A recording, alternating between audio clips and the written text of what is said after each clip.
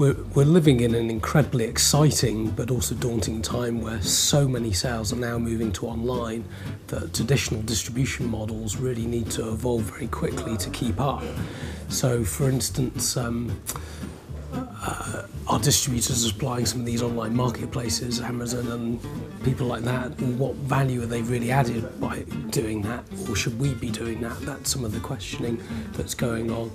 Um, a big challenge we've got is luggage buyers think our product's a toy and toy buyers think it's a piece of luggage and trying to get it in the right place in stores is a real challenge. E-commerce circumnavigates that.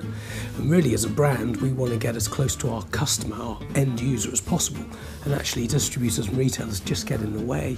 So um, we can see that the end picture but we're in um, uh, an environment where we need to work with our distributors and retailers to get the product to the customer um, and that's a real challenge for us so migrating to a, a new way of doing business is all part of our business thinking at the moment.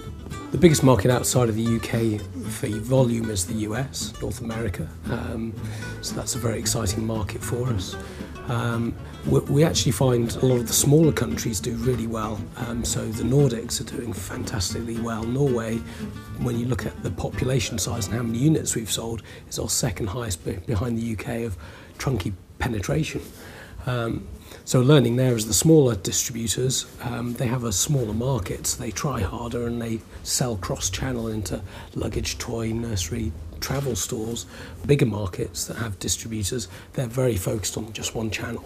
And trying to get them to not just sell into toy stores but into luggage is, is really tricky because their whole setup is just to supply one market.